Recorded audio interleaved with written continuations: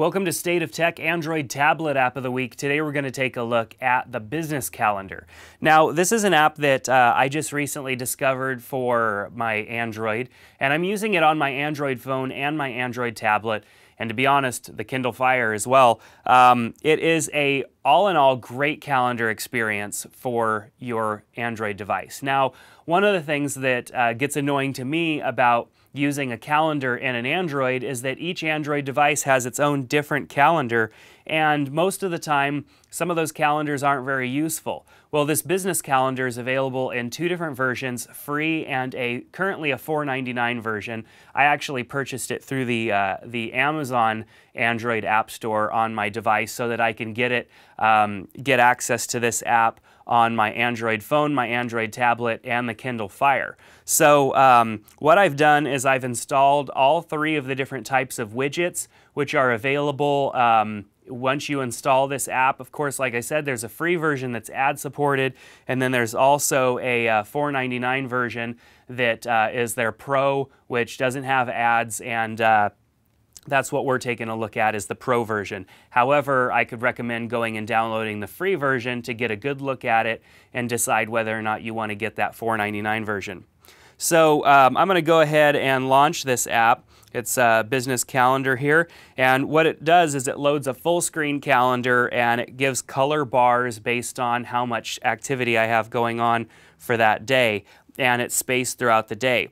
So if I tapped on today's date, I get this little pop-up that shows those different things. It doesn't change my screen completely unless I go and tap on that again, and then it changes to my day view. Um, I have an add event tab at the top. All I have to do is tap add event and I can go in and add everything. What's really cool is it still shows me over on the right hand side um, what I have available that day. And all I have to do is tap and drag on that new uh, event that's showing up over there and adjust the time. Alternatively, I can tap on the different boxes and fill in that information myself, uh, but it's kind of neat how I can do that Of course, this supports multiple calendars. When you install the application, it's going to load all available calendars uh, from your email addresses and even the calendars that you've already created inside your device. So uh, I'm going to go ahead and just get out of this uh, new event um, because I don't necessarily need to, to go through this. Um, as far as the details that you can add for a new event, it's fairly uh, the same. Uh, you know, you can set alarms and all that stuff. This app also has its own alarm system built into it. So uh, when you set alerts and stuff like that, you can allow the app to do that, or you can allow the device to do that within the standard calendar app. Um, I'm more of a fan of disabling the uh, standard calendar apps, uh, alerts, and all that stuff altogether, and using uh, this app. So that way I have the same types of alerts going off on my other devices. All right, so down at the bottom I have a different color um, that shows up so that I can see which calendar shows up in which color. It's kind of like a key, I guess you could call it. Um, so uh, what's really cool though, I mean, of course you can manage your calendar fully in here. It looks good in both rotations um, and it's easy to, to use. If I go into settings, uh, let's just go ahead and do that really quick.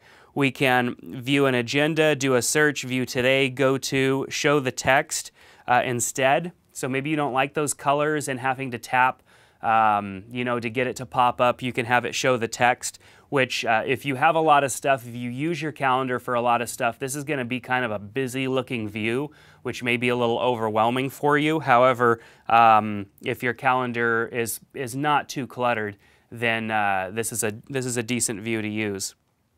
If I tap on more, I can view the different calendars. I could sync it. There are general app settings, which allows me to set up my quick navigation when my core hours are, like my start and stop time for the day, um, first day of the week, all that stuff. There are some some different settings in here for colors and actions as you do different uh, things with the app. But let's get out of the app and actually look at the widgets. I like widgets, especially when they work really well. There are three types of widgets that this app comes with, and each of those widgets comes in different sizes and then has different settings. Um, there's just an icon widget that shows the date, the month and the date. It also shows how many events you have uh, for that specific day, or you can adjust that to over three days so that it shows how many events. Then there is a thin widget, which is the same height as an icon, but can be anywhere from two icons wide to four icons wide. And that one shows your date. It also shows your different things that you have going on for uh, the next, basically the next three events, or you can set it to five, however you want that to appear. Then there's the 4x4 widget, which I have set up in agenda style, which shows me everything from today, tomorrow, Friday, and through the weekend. Um, I can see my different things coming up, and all I have to do is drag my finger over it up and down, and I can see my schedule, uh, you know, all the way to probably seven or more days out. Looks like uh, I can just continue to scroll as long as I want, to be honest. Um, there are also arrows here that I can tap on. Um, I can refresh this. There are settings that I can adjust for that widget uh, right here as well. So um, that's probably the most powerful widget because it's big. Of course, it does take up a lot of screen real estate, but it's very powerful, keeps you from having to go into your calendar application uh, to do something as simple as just look what's coming up in the next couple weeks. So this is a very cool application. Is it worth $4.99 for the Pro version? I think it is because, of course, no ads that get in the way. Uh, and it also has, uh, you know, these great widgets and everything that show up and I think it's worth $4.99. But you can go check it out for free and see if it's worth it to you. The business calendar doesn't necessarily mean that it's only good for business.